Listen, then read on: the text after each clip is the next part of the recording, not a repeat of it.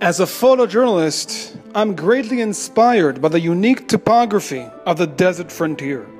It soon became apparent that in almost every photo I captured, there in the background stood the magnificent Herodion in all its glory. In this photography show, I share some of the many photographs I have taken of this region, all having one thing in common the Herodion.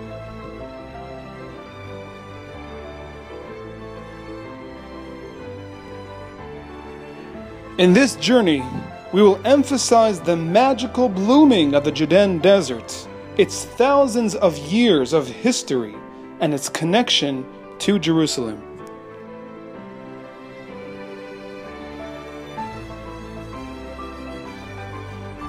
Wadi Tkoa is one of Israel's most spectacular nature reserves.